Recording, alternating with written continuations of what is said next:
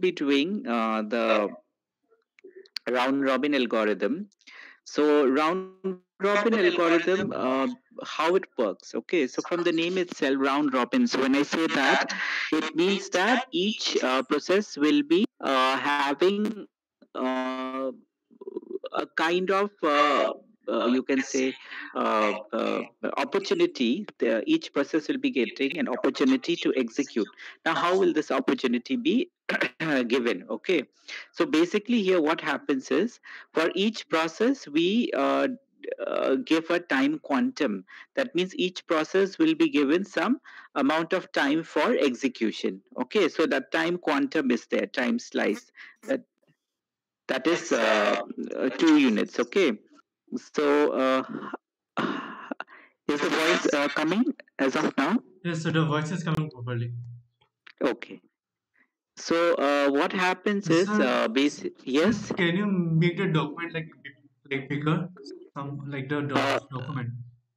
d- which one? This notes. Yes, sir, Uh, this one, right? Yeah, yeah. I will make and give. Okay, don't No, worry. no, sir. Like, can you like make the screen bigger, like the zoom? Can you like Okay, zoom okay, okay. All right. Okay. Is it okay now? Yes, sir. It's okay. Okay. So uh, basically, uh, what we are doing here, we are giving uh, every process the opportunity that they should be executed by CPU. Okay, but one thing we have to make is uh, whenever we are giving everyone opportunity, on what criteria do we uh, give that, right? So here the criteria is basically the time quantum that we say. That means some amount of time is allocated for every process for execution. Okay now, uh, in earlier cases, when we saw like first come first serve, shortest job first without preemption, shortest job first with preemption, there the um, the thing was uh, like um, uh, I mean to say th- there was only one which was uh, basically maintained, isn't it? That is the uh, you can say in the Gantt chart we were having the ready queue. That means the uh, the uh, we used, we used to maintain the list of processes in the Gantt chart. So this was basically the running queue. So the running queue we were maintaining.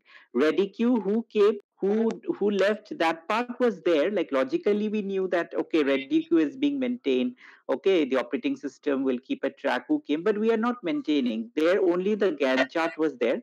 So the gantt chart was actually in the running queue okay? But here in case of round robin we will be maintaining two queues. One the running queue that is the gantt chart and the other one is the ready queue why we have to maintain the ready queue the main reason is that because let's say if one process is executed for two unit of time but its burst time is not complete. So we have to save its context right? So for saving the context its state we have to store that all those information of that particular process in the ready queue. So the ready queue will basically be used for uh, storing the information of those processes which have not finished their burst time whose turn has not been completed completely okay so for that reason.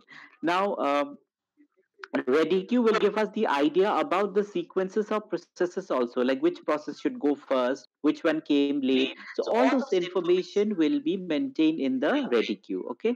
Uh, here processes should be put in ready queue depending upon their arrival. So depending upon the arrival time this part okay depending upon the arrival time those processes which have come as per the arrival time uh, uh, depending upon that we will be putting the processes in the ready queue.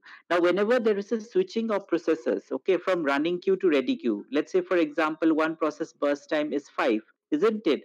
So it could execute only two seconds. So how much burst time left? Three, because total was five. Only two units could be over. No, three is still left. So for that P1 has to be stored somewhere. It's information that burst time is now three. It arrived at zero. So all those information, its context has to be stored. So where it is stored, that is stored in the ready queue. So ready queue basically will serve two purpose. One purpose is that it will give us the idea about the sequence of processes. That means which process came first, which process came later, because we will be doing the arrival time. So depending upon the arrival time, we can synchronize those processes in the ready queue. That is the first thing. Second thing about the ready queue is that it will um, keep the context of the process saved that means whatever uh, you can say burst time has been utilized 2 seconds. Out of 5 2 has is gone. So how much life is remaining? 3 right? So that that updated value of burst time that means it has become 3 so that will be uh, you can say updated in the ready queue. so basically that is the reason why we have queues in round robin. One is the ready queue and the other one is the uh, running queue okay? Now uh, when we will be given in the question this thing will be common. That means the arrival time and the burst time. That means this is common to the data which was supplied in the earlier algorithm these things will be given to us in the question okay? Now how does this work so let us see how does this work. So this part is the same only from question. There is no uh, i mean to say okay there is no difference. Okay. Now uh, how will this look like in the uh, ready queue? Okay. So let us look here. Uh, first of all who comes? Who arrived first? The arrival time is whose? The first process which comes is p1 so we have to load uh, in the ready queue first p1 okay. Now uh, now in zero no other processes come. It is only p1 only. That means other processes are not available in the ready queue. So what we do is we give this process in the running queue for execution by the cpu so p1 is loaded. Okay. Now when uh, this is loaded when this is loaded let's say in between 0 to 2 in between 0 to 2 do we have any other process?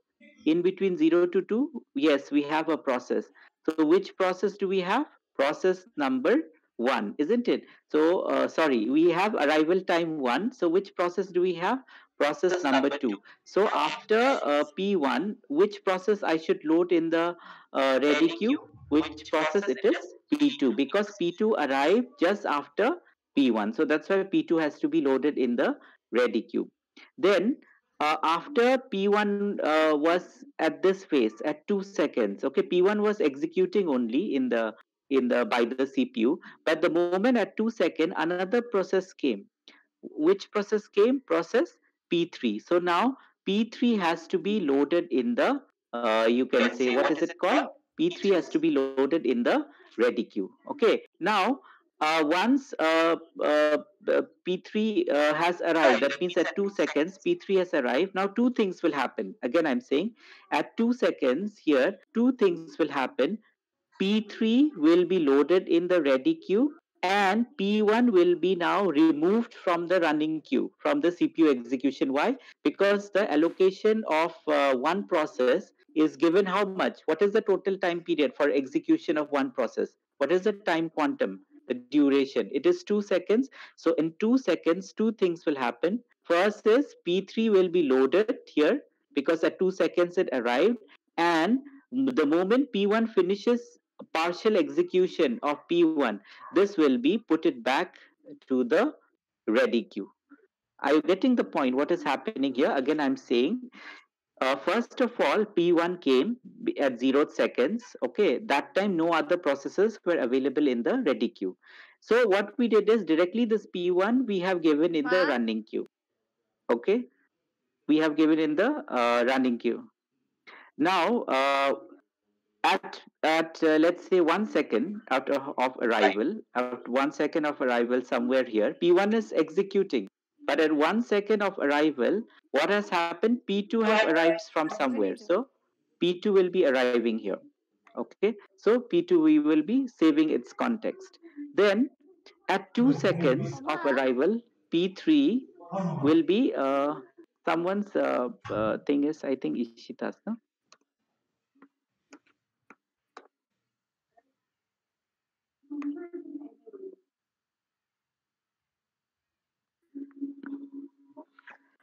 Okay, so at um, uh, two seconds, two things are happening.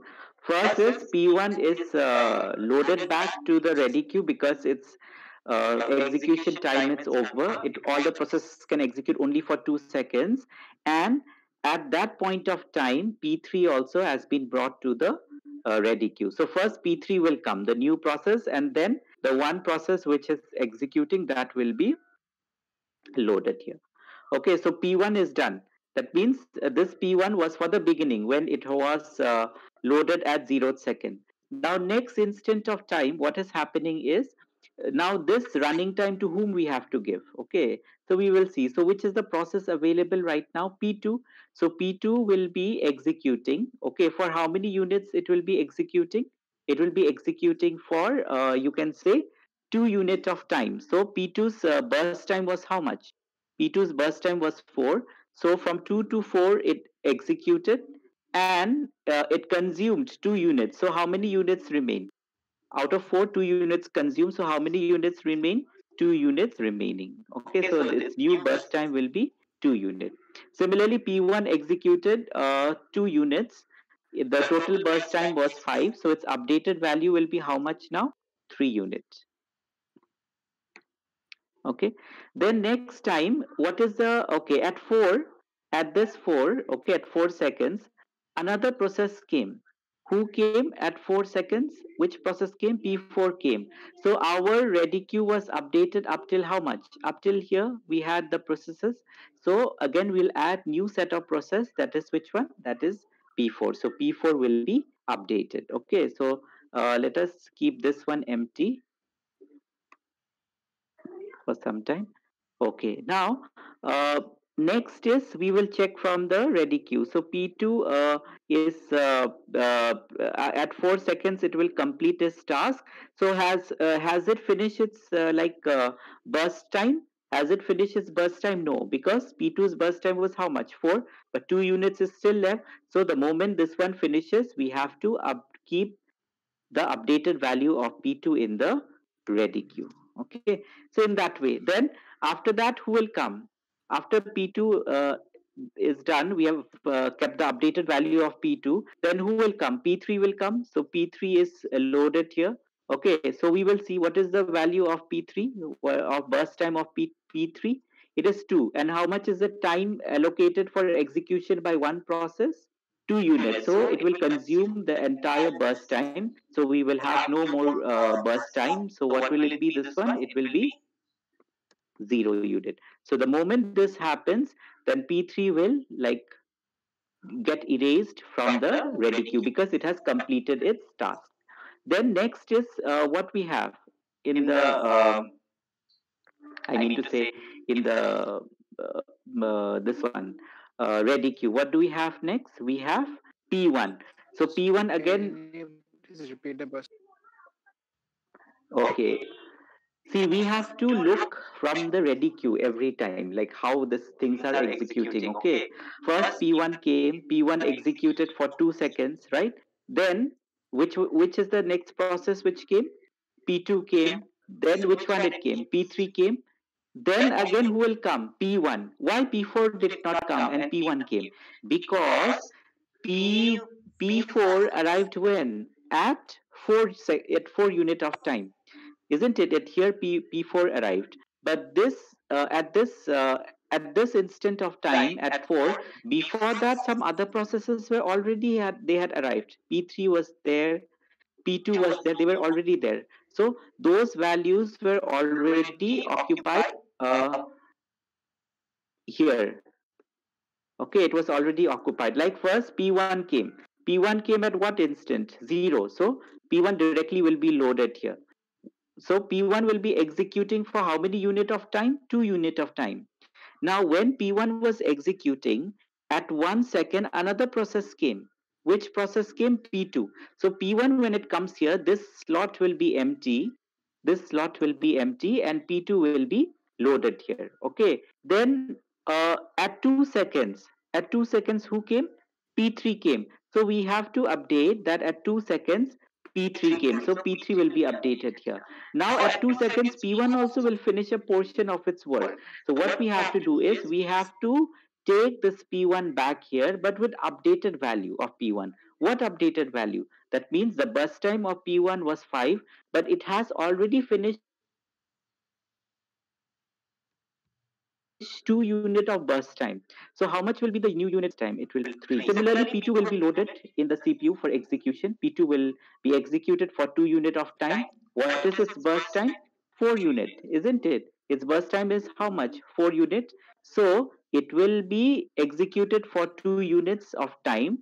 And similarly, at two seconds, that means at this point, when P2 had come here, at this point, when P2 had come into the running queue, what has happened is another process has come, which is the process at two second, which has come into the ready queue P3.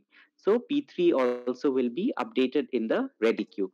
Now, uh, P2, it will be executing. For how many unit of time it will be executing? For uh, two unit of time. So the moment, uh, the moment, sorry, P2 will be executing for two unit of time. So the moment P2 finishes its work, what will we have to do? We have to take this P2 again into the ready queue because it could finish how many unit of work? Four units. So how many unit of work remaining? Two unit of work is remaining. Okay, similarly, again, P3 is there. So P3 will be brought here. So when P3 is brought here, it will be executing for, uh, you can say, uh, two units, isn't it? It will be executing for how many units? Two units. So it will be consumed. So we don't have anything left for P3. So P3, we don't take it back to the ready queue. So P3 will be over. Then as we see here, we have these processes left. So again, P1 is still left to be done. So what we do is we will now again take this P1 down. So it will be executing. It will be executing for how many unit of time? Two unit of time. So out of three unit, two unit is already used. So how many unit left for P1 now? One unit. So it again we have to put that P1 again where into the ready queue so this will be deleted because this had gone for execution in running queue once this was executed we have to update in the ready queue then after that what is there p4 p4 how much is the burst time one unit but how much time i have allocated for each process two unit but it's okay no problem because if this burst time is lesser than the time quanta, it's okay. We will allocate only one unit only. So P4 will be allocated only one unit. So only 8 to 9 it will consume and it will be released from the ready queue. Okay, so this updated value of burst time will be how much? Zero. Okay, then uh, who, who is left now? P2 is there. So P2 will be brought here. So when P2 is brought here, what is happening?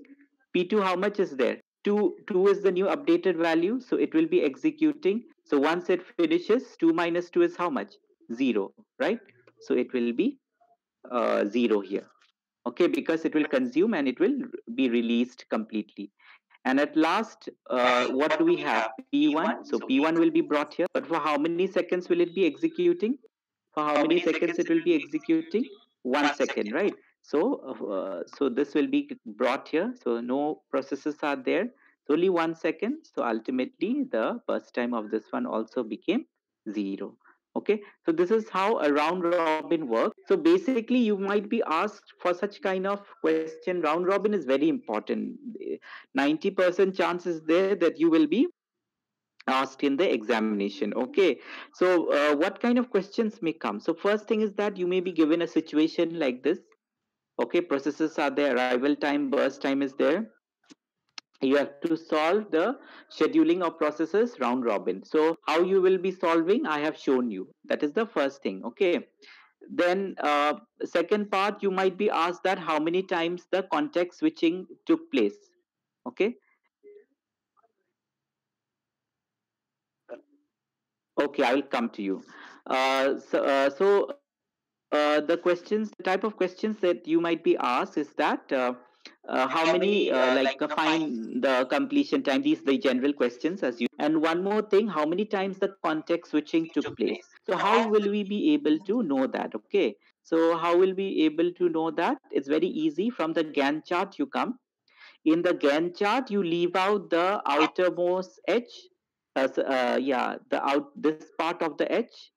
The boundaries i can say. The boundary edge you can leave out this one and this one you leave out. Okay and the remaining boundaries you come count. So how many other one two three four five six. Okay so if suppose someone asks you how many times there was a context switch that means the switching between the processes then you will be very easily be able to say that how many times there was context switching? Six times. How do we know? From the gantt chart we have to take the count the inner edges. So one two three four five and six. Okay so that's why the context switch is there. Completion time uh, we already spoke last time. So i think i need not uh, talk about it anymore. Completion time i think you already know. How do we find the completion time? From where do we find the completion time? From the gantt chart. So if i look at the gantt chart p1 what is the completion of uh, uh, of p1 completion time of p1 is how much. Mm-hmm. 12 so that's why it's 12 here similarly p2 what is the completion time? When it got completed? At 11 unit of time say 11 so in that way we have to solve it. Then turnaround time is completion time minus the arrival time. So it's 12 minus 0 12 11 minus 1 10 in that way we have to find. Then again waiting time also formula is already there. Turnaround time minus the burst time.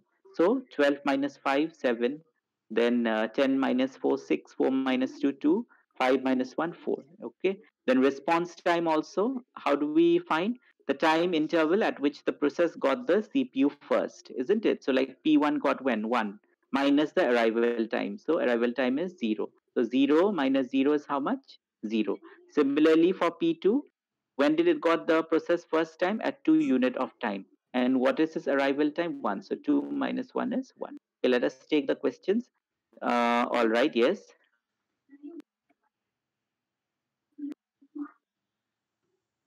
Uh, in this case uh, like for example okay like you are you mean to say that if all the processes will have time quantum less than 4 right? Is that what you mean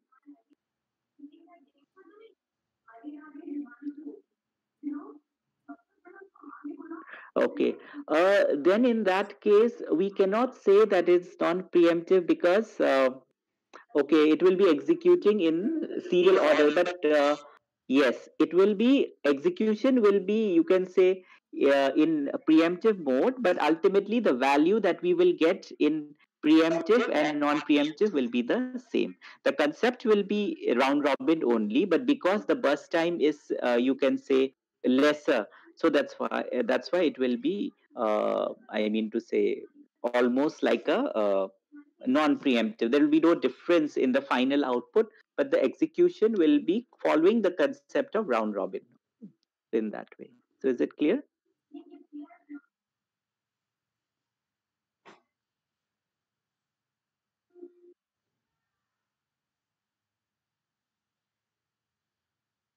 It's okay okay others any other uh, others any query or did you understand. The main thing here see you have to take two things into account. here there will be one more queue that is the ready queue okay? Because in other algorithms we are just maintaining the gantt chart.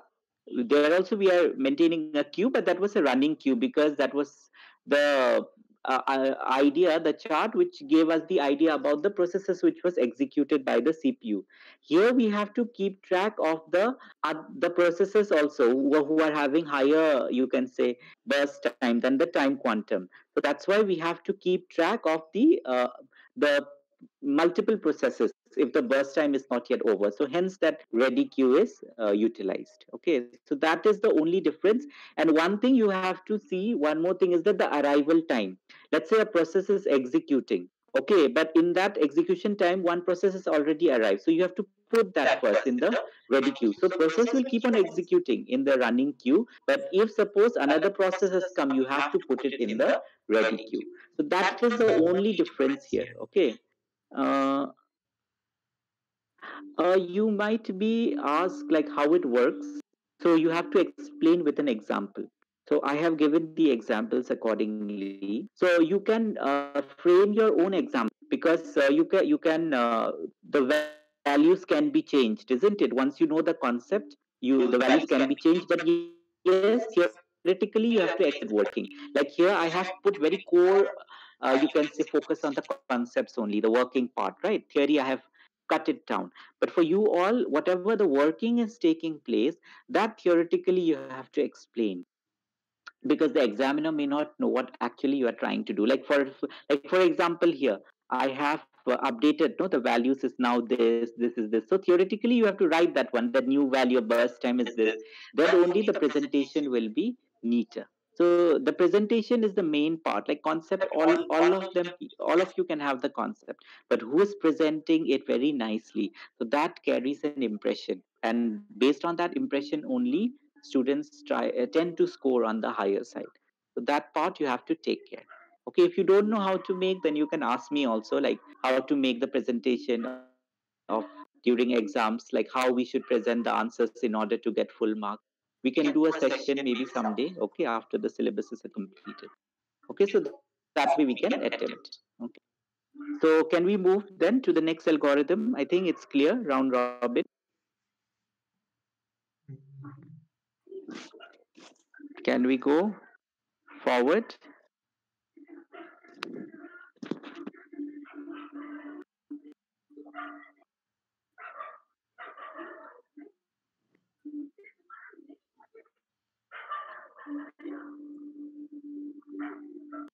Okay. Then uh, next one is the multi-level queue scheduling. Okay, so the, from here you will not get numerical, so it's a theoretical kind of a topic. You will do very quickly. Okay, so when I say multi-level, that means there are many levels. So what do you mean by that? Okay, so let us see here. Suppose we have three different types of process. Okay we have classified the process into three kinds. One is a system process one is an interactive process and one is a batch process. So, so and we have uh, categorized their priority also based on the types of processes. Like system process should be given the highest priority isn't it? Interactive one a little bit lower and then batch process are, are the lowest. Okay and they will be given to cpu for execution okay? So let us take a situation okay if we have a situation where we have three types of process we have said system interactive and batch okay? And for each one of them we have to maintain separate ready queue. In the previous types of algorithms we are maintaining one ready queue only isn't it for different types of processes. But here for different types of processes we are maintaining different ready queue. Like for batch there will be one set of queue. For interactive process there will be another uh, set of queue. And for system process there will be another set of queue. So that is basically the concept. And priority also it has been divided depending upon the type. Okay. Now each of these processes okay type of processes when i say they will implement different types of algorithm. Some may implement uh, first come first serve. some may implement round robin. Some may implement uh, shortest job first with preemption or without preemption. That is the choice actually. So it may depend. Now we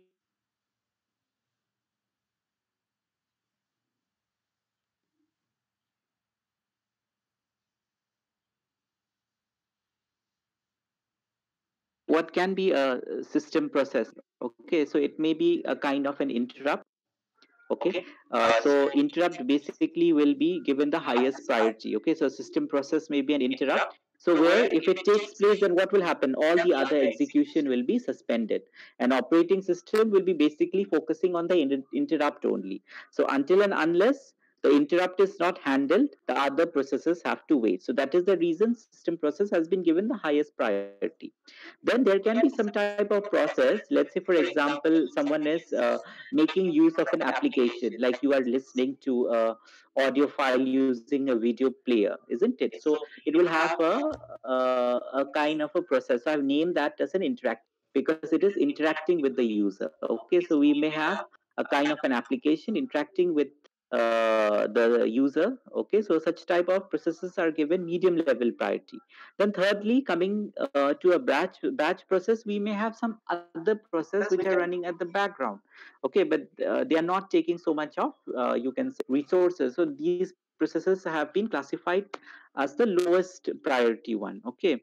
Now the concept here as i told you that different types of processes will be maintained in different ready queues okay? And each one of them may execute different types of process scheduling algorithm okay? So the main thing is that what is the biggest advantage is a we are categorizing their the processes okay in different queues based on the uh, real life situations or you can say based on their nature or their type okay so we are saying that okay this is ready uh, sorry uh, system processor this has to go here.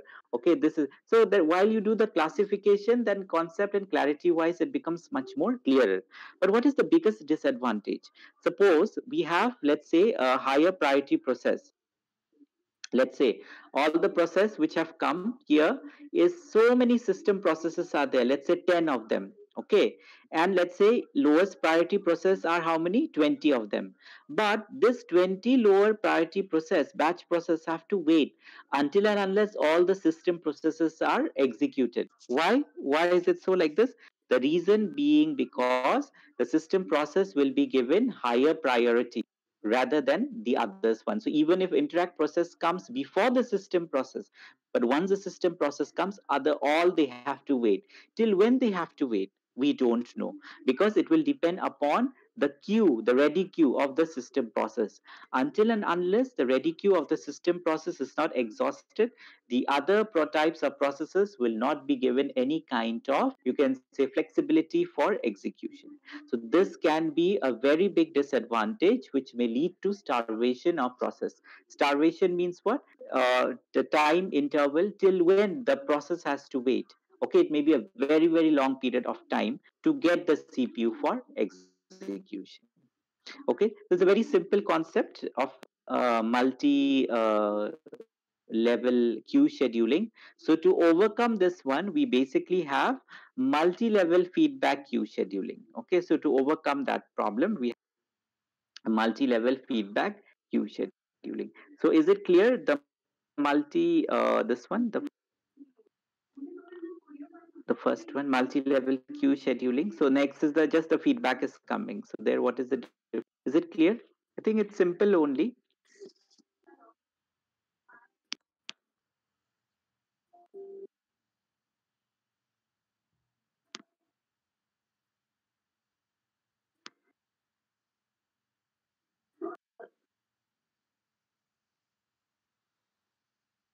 Okay. So let us go next to uh, multi-level feedback uh, multi-level yes feedback uh, uh queue scheduling okay?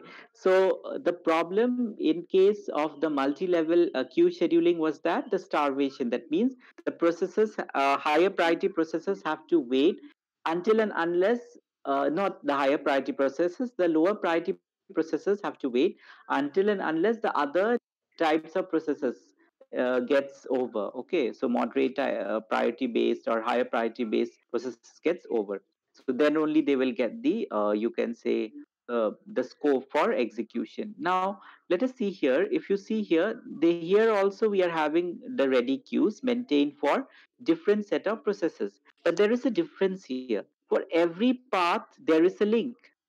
For every path there is a link. Like for example here this is linked to the second stage then this is linked to the third stage. This is linked to the fourth stage in that way. Then there is in every uh, stage there is a output also if you see. Okay what output is this? This is the you can say execution by a process. Okay at you can say at some point of time. So if suppose it is executed then what happens is uh, it is given to the next level. Okay with increased time quantum. So it basically moves in this way Okay, so let us try to understand how it works. One more thing I'm saying that every uh, type of process for executing uh, the scheduling of process, okay, a different algorithm it can use. Okay, so this level it may use maybe round robin. This may be again it may use round robin. This it can use shortest job first. The last one may use FCFS. So it can be anyone. First one also can be FCFS. It doesn't matter. Okay, so it is independent of uh, like uh, uh, you can say choice.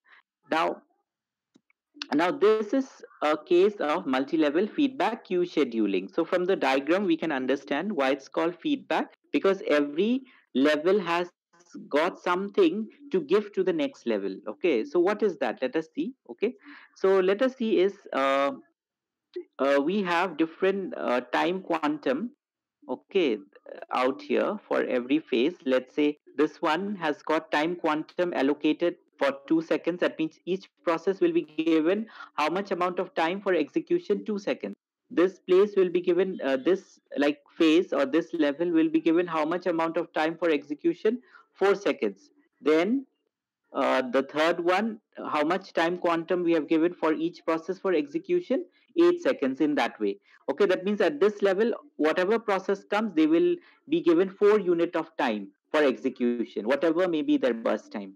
Okay, if it is 12, so it will be given 4 unit of execution, so 8 unit will be left. If it is 4, then all 4 will be utilized and it will be 0 if it is uh, let's say 2 so all 2 will be utilized the remaining will be given to some other process which is in queue so accordingly okay and every level will have different uh, you can say time quantum. So that part we have to know okay? So let us see uh, this is the working principle. So when a process starts executing then it enters first enters q1 in q1 process executes for 2 unit of time and if it completes in this 2 unit or it gives uh, cpu for io operation in this uh, uh, 4 unit then the priority of process does not change and if it again comes in the ready queue, then again it starts its execution in Q1. If a process in Q1 does not complete its burst time in 2 unit, then its priority gets increased and is shifted to Q2. Okay, let me read and then I'll explain. Above points 2 and 3 are also true for Q2 processes, but the time quantum is 4 unit. In a general case, if a process does not complete in a time quantum, then it's shifted to the next queue, increasing the priority. In the last queue, processes are scheduled in FCFS manner. A process in low priority queue can execute only when higher priority queues are empty. A process running in the lower priority queue is interrupted by a process arriving in the higher priority queue. So what is happening here basically? Let us say um, we are having a process which has entered here Okay, so for a lowest priority based process, what do we do is we basically execute with time quantum, let's say for a very uh, short period, you can say time quantum we give, let's say two. Okay, now let's say a process of burst time has arrived, let's say, uh, let's say of uh, um, how much? Let's say six units. Okay, so what will happen? It will uh, it will execute for how many units? Two units. So after it executes for two units it will be giving the maybe the execution will be done so it will be given to the cpu so what will happen? This process which had come let's say process p1 okay it has executed two unit of time. So burst time is how much now? Uh, it was six right initially. So after execution will be how much? Four. So we will give feedback to the next level that process p1 is coming with burst time four unit with the increase in its priority. That means no matter what, the process entered with a lower priority, but since the execution of uh, the processes is taking place at every level, okay, parallelly. So hence we will update the burst time, we will send it to the next level. Along with that, what we will along with that we will increase the priority of the process. So maybe its priority was zero. Now its priority is one. So in that way. Then out here out here. Again the process will be uh, scheduled. Maybe there are other processes also are there but it will be scheduled accordingly okay? So if suppose there are three processes also so that the process which has come it will be kept in the fourth position. So once it has turned its come. How much was its burst time? Its burst time was four. So time quantum is also four. So it will be given to the cpu and it will be executed. Now if in this point of time let's say if in this point of time we have exhausted the burst time, that means the process is completely, uh, you can say, executed, then we need not send anything to the next level.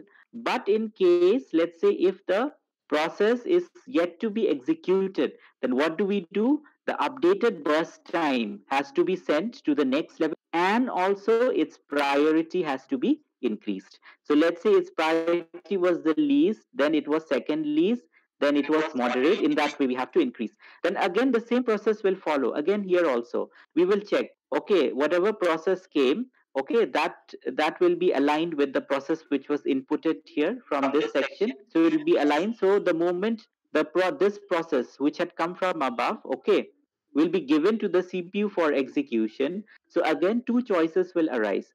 If the burst time of the that process which was given here okay has exhausted that means it's finished its execution then that process will finish its work here only. But if the burst time is still left then it will be given to the next level again. That means it will serve as a feedback that another process is coming. It will be put into the ready queue and then accordingly it will uh, you can say utilized. Okay? So in that way every step whenever we are sending the process to the next level two things we are doing first thing what we are doing is we are updating the burst time value at every level and then sending. And second time whenever the process get, goes to the next level its priority is also increased. Why its priority increased? Because we know that in multi-level scheduling every level is priority based. So whenever the updation takes place it's not only the burst time but also the what is it called? The the priority of the process is also upgraded. So this is how basically we can solve the issue of starvation that was there in multi-level scheduling. Because here ultimately it doesn't have to wait for a large period of time or infinite period of time. There may be a waiting period maybe when process let's say came when the process went there were already some other process. But then their priority will be like of the same level isn't it? In the previous case the priority was not on the same level. Correct? Individually we had classified. But here whenever it is going to the next level every time its priority also is increasing. So compared to the older one this one is much much more efficient and faster. Is it clear the only difference here is that feedback is there and once at that level it is executed we are sending to the next level by updating the priority and the time that's the only thing.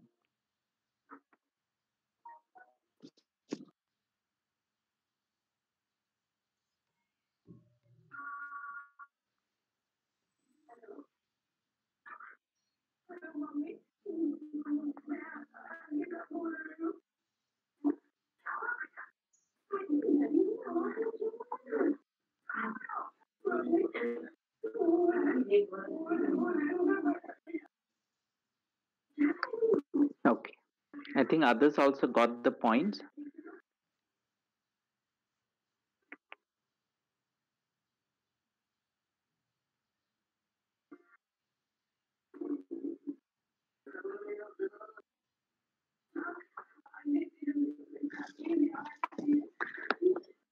So let us start uh, the disk scheduling algorithm. So they are very easy, okay? They're not difficult at all.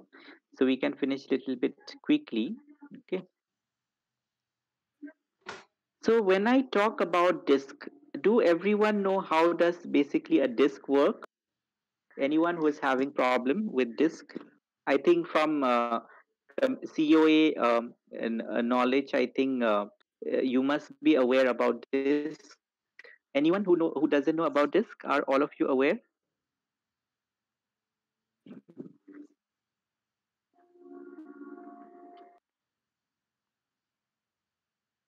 anyone who doesn't know how does a disk work?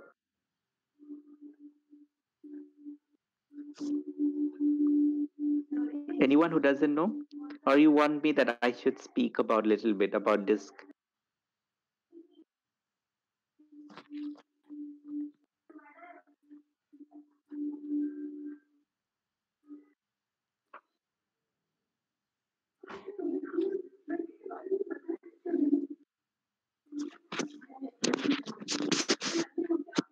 Yes, Nihal and Arbas. Okay.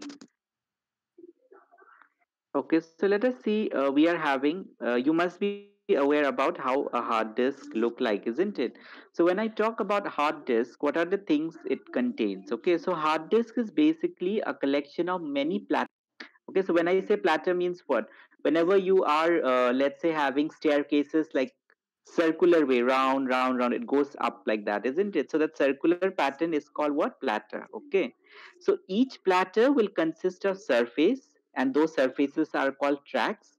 And inside the tracks we have the sectors okay? So again once i'm saying a disk is basically uh, you can say a form of platter. So a disk may contain how many platters? Many many number of platters. Now every platter will contain a surface, the upward and the inward. Okay, now these surfaces will contain called tracks. Okay, every platter will contain a surface called track, and inside the track on the surface, what we will have, we'll have the sectors. So generally, whatever data we are storing, we are storing in the in those sectors. Okay, so whenever we are fetching or retrieving any data, from the hard disk okay? So how, what is the what are the uh, things we need to do? So first of all we need to access the platter that means get hold of the platter. Then after that we have to move into the desired surface where the track is uh, there. Once we have located the track okay then we have to access the sector because ultimately it is the data is contained where? In the sector okay now, whenever we want to move from platter to sector, how many things we have to we have to go to platter, we have to go to uh, you can say uh, the the surface, isn't it? And then finally to the sector. So to move from platter to sector, basically we need a, a kind of uh, a device which is called an arm. So what what kind of arm is this? This is the actuator arm okay? So above every platter every platter the circular way there will be an arm okay? And it will contain a read write head which keeps on moving left and right okay? So this is basically the arrangement of how a hard disk looks like okay? So whenever we are uh, fetching any kind of uh, you can say data from uh, various you can say positions in the hard disk then how we are going to do this okay so there there comes this uh, you can say utility of uh, algorithm. Okay. Now very important term whenever we are using these algorithms we are using based on some parameter. So what parameter we are using? We are using based on the seek time. That means what is seek time? It is the minimum time it is the time taken okay to reach the desired track. Because from the track ultimately we'll get the what? Sector. So the the more the minimum time it's required to reach okay uh, from the platter to that particular track okay sectors track okay then we say that that is the most efficient you can say uh, utility of retrieving the data from the track okay. So this is the how it works. From platter to surface from surface to track and then from track to sector. Now to make this time minimum we have various algorithms okay? So here like process uh, scheduling we had certain algorithms. So similarly for uh, reaching to that desired uh, you can say uh, track location we have various disk scheduling algorithms okay? So uh, the main aim of these algorithms as i said is to minimize the seek time okay? So first one is first come first serve algorithm. So from diagram i have tried to explain. So like this type only questions will be given to you. Okay so you have to answer based on the uh, problem. Okay so suppose we have a disk containing 200 tracks. It starts from 0 to 99 so how we are going to draw? So first of all we draw a line okay from 0 up till 199 because they have already specified. That means it's from 0 to 190 okay so now request queue contains track number. These are the you can say the the various you can say uh, track numbers which the uh, you can say the disk has to process okay so which are the track numbers so this uh, we have already uh, these are the ones which is given to us so from in this number line we not number line in this line basically we have to put the values now where will be the reference point so the reference point will be from the current position where the uh, actuator arm is there. That means the read-write head is there. So the current position of the read-write head is how much? 50.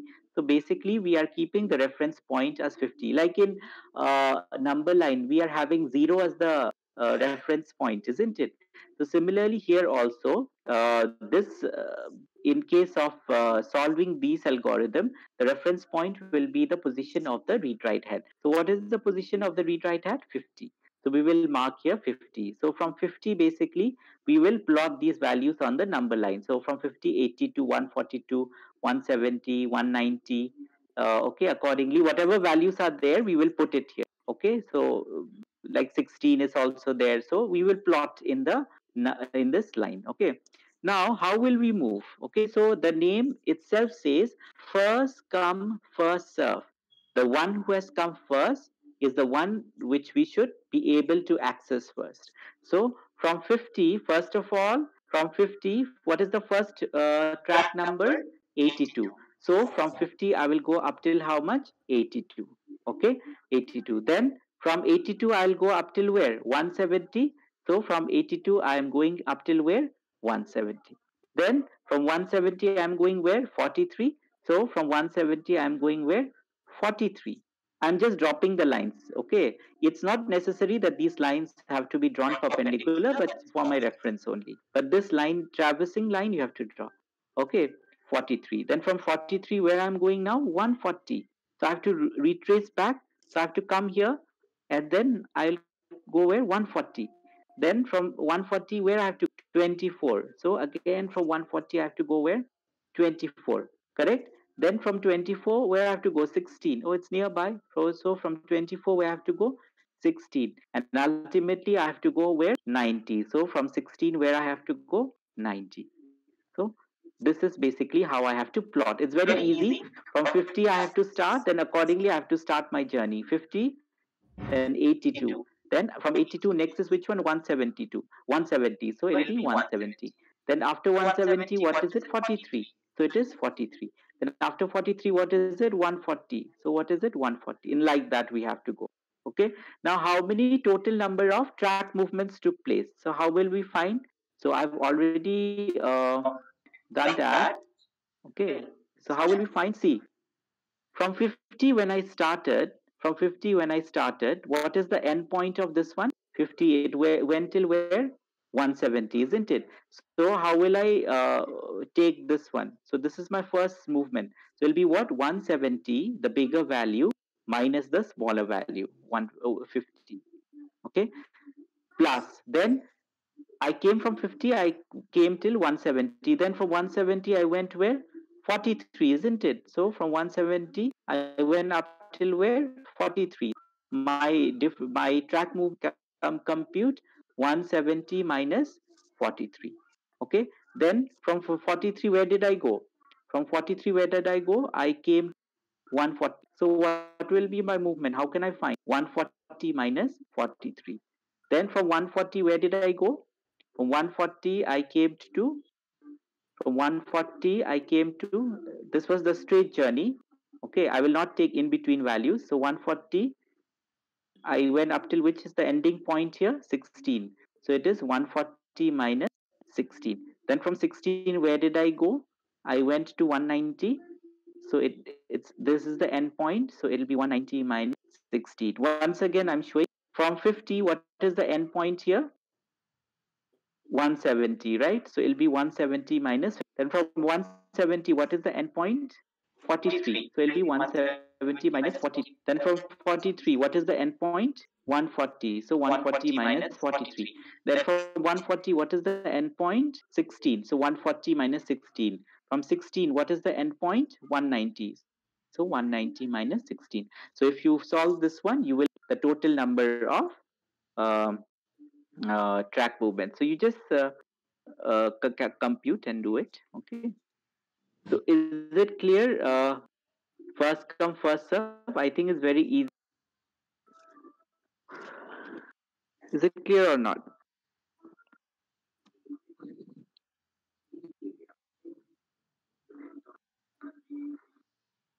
Okay, very good.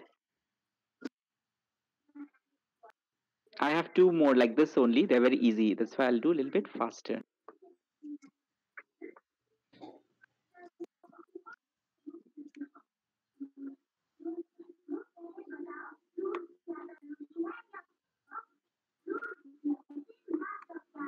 Okay, so the next one that we have is the uh, shortest seek time first. Okay. So how we are going to do that?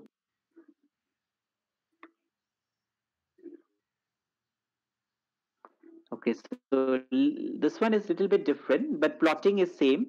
So there are 150, 1, 200 tracks. I've okay. So that means from zero to 199. Let's say the current frame of reference is 50. So the read write head position is 50. Okay. Now uh, we have to use. Uh, I mean to say another alg- algorithm called shortest seek time first in order to compute uh, the total number of track movement. Okay. So let us see how uh, we are going to do this. So let us see from 50, from 50, this is my reference point. Out of all this, which is the value which is nearest to 50? Out of all this, which is the value? One is 82, one is 170, one is 43, one is 140, one is 24, 16, and 190. So from 50, which is the nearest value? It is 43. So that's why from 50, I have to draw one line up till how much? 43. Clear? So 43 is done. 43 is done. So gone. Then from 43, I have to check which is my nearest value. So what are the values I have? I have 82, 170, 140, 24, 16, and 190. So what is my nearest value here again? 24. So I will be mapping from 43 up 24. Okay. Then from 24, by standing in 24, I have to check which are the other values which are nearest. So which are the nearest, nearest values? 16. So from 24, I'll be mapping 16. Then from 16, which are the other values which are nearest? All are bigger values, but 82 is little bit better. So from uh, 16, from 16, I will be mapping for 82. Then from 82, from 82, 16 also gone, 82 also gone. So who are left? Who are left? 140, 170, 190. So definitely 140. After 140, 170, and ultimately 190. So in this case, the thing is that we have to take uh, the nearest point from the point we are like from 50 what is the nearest point? 43 then we have to check whatever is there which is the next nearest value. Then once we go here then again we will reference here and we'll check what is the next nearest value in that way. Then similarly i if i have to find what is the total number of track movements so how will i find? So from 50 what is the extreme point? 16 so 50 minus 16 okay? Then from 16 what is the extreme point? 190 so it's 190 minus 16 so this is 208 okay. The disadvantage of this kind of algorithm is again starvation. Why starvation? Because let's say uh, we have let's say 50 okay. We have 50 the next we have gone 43 okay. But let's say uh, we had uh, this was 43 we had one more let's say in the line. Um, let's say it was uh,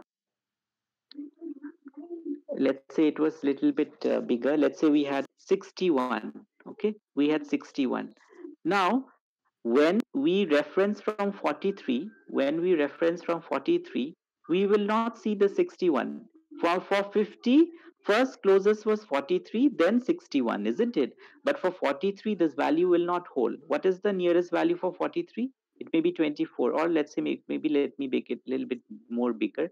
68 so for 50 the first nearest value was 43 then 68 but the moment it goes here for 43 okay the 68 will not be uh, it will not look at 68 why? Because 24 it will look look for him to be near. So it may so happen that let's say from the reference point the values may be near okay? We may have two three nearer values. But the moment this track is changed for that particular track for the change track to see that value okay the value which was there from the reference point that may not be holding anymore. Why? Because it will always see from the point where it is standing. So even if some tracks have come before okay other tracks yet they will not hold significance. Like for example here 50 is there okay secondly came here third it came here okay 16 and uh, or let's say 68 is here okay. Let me change let's say 68 is here. Okay 68 is here. So 68 came when? According to the ready queue. It has come on the second level. But for 50 when it changed to 43 now this 68 will not be uh, you can say useful because 43 will pick whom? 24 and then 16 and then came and then maybe come to 68 but actually 68 had come when like it is appearing on the second level only that means 68 should have been picked first but if we go for something like this type of algorithm then even if some you can say uh, numbers should have track numbers should have been chosen earlier as per their arrival, but because of the algorithm, those you can say tracks have to wait. For how long? For a large period of time. So that's the problem with uh, you can say SSTF. That means it suffers starvation. Okay. So tomorrow I will do uh, the others that is scan and C scan and DB scan. Okay.